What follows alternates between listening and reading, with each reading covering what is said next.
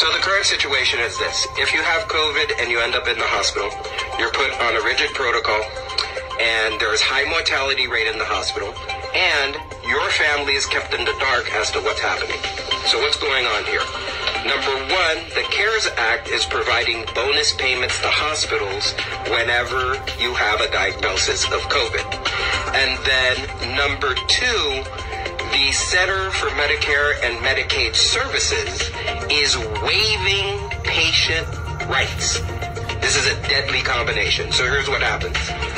You get a payment because you offer a free COVID test in the emergency room. You get a boost payment if you have a diagnosis of COVID.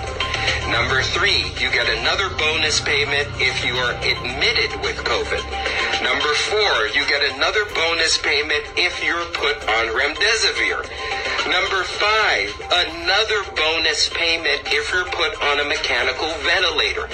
Number six, another 20% bonus if the diagnosis on your death certificate says COVID, even though you may not have died from COVID.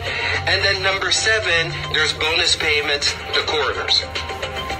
Do you understand the gravity of what's happening right now?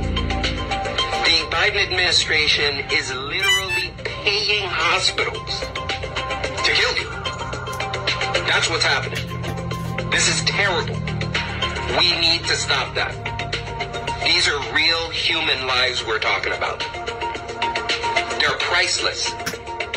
It's estimated at about $100,000 per patient is what the hospital's getting.